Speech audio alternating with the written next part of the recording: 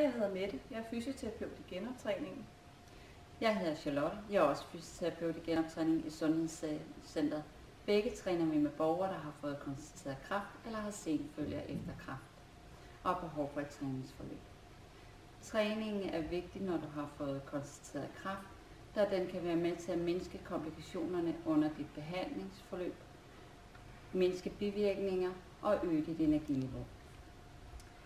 I genoptræningen tilbyder vi individuel træning og samtræning med andre borgere, der også har en, en kraftdiagnose. Øh, du kan blive henvist, hvis det er, at du har senfølger fra et tidligere behandlingsforløb, eller hvis du er i gang med noget behandling nu. Øh, du kan blive henvist via din egen læge eller via hospital. Øh, når vi modtager din henvisning, så vil du blive kontaktet af os, og så får du en tid hos en fysioterapeut eller en ergoterapeut. Og ved samtalen, så vil vi sammen med dig finde ud af, hvilket tilbud, der passer bedst til dig.